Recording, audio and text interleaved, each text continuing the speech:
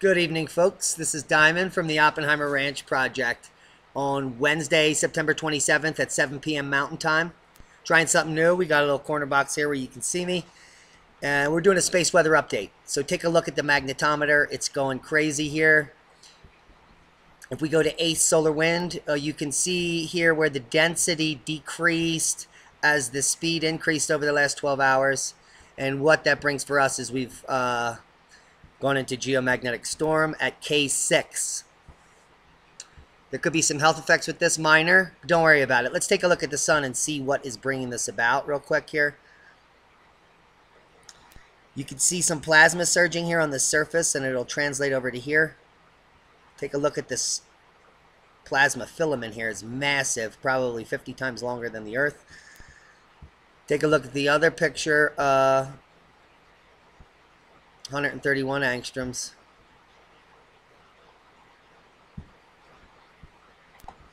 That's not running. Here's 193. Well, what I wanted to talk about tonight is uh, the two plasma, uh, solar wind and plasma CMA modeling softwares that exist. This is ISWA the other one is the WAS or the WSA Enlil. The WSA Enlil spiral. Both of these are large-scale physics-based prediction models for the heliosphere used by space weather forecasters. They predict coronal mass ejections and solar wind streams. I'll leave links to all this. So if you go to the WSA Enlil Solar Wind Predictor, it'll come over here. It'll show you the dates and the prediction times on what's going to happen. Notice here Earth going through a plasma density increase, and down here you sh it shows radial velocity. You could pause it, you can move it around, forward and backward. But what I want to show you is the timestamp in the corner. It's the 27th, correct, today. It's not really showing us going into any plasma density change. That's according to this model up here, it's not going to hit us until the 31st. So look at this band, and that's when it's hitting us there, increasing on these two areas right in this flux. You could see how they're predicting this based on the model. We're back here. So what we're experiencing geomagnetic storm on, according to this model, is that stream right there that just hit us the end of the 27th going into the 28th. See it right here? And there'll be another one hitting us on the 1st to the 2nd right there. So I predict that this geomagnetic storm is going to be a little worse based on these models. And at spaceweathernews.com, you can come and see this, or you can go to iswanasa.gov. I'll leave links to all this. I'll also leave this description here of the WSA Enlil model and what it really does, forming a spiraling shape coming off of the sun due to the sun's rotation, blah, blah, blah. This is where you can get familiar with what the actual modeling is and how it's done. But what I wanted to point out, interesting, I'm like Enlil, and I Googled it. Enlil is a Mesopotamian god, like Enki. He's one of the supreme deities of the Mesopotamian, Mesopotamian pantheon. He decreed the fates his command could not be altered, and he was the god who granted kingship. Very interesting.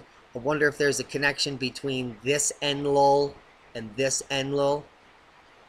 Just thought I'd point that out. Let's come over to see what they said here at uh, spaceweather.com. In fact, they're saying that there's a G2 storm uh, happening. We can confirm that.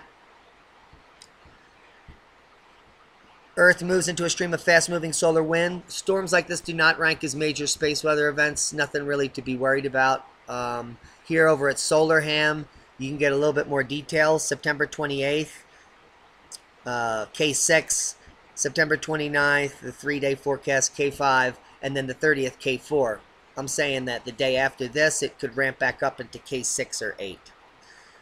What we could be looking at is some earthquake activity. Here's this massive coronal hole, and this is the wind stream that we are receiving,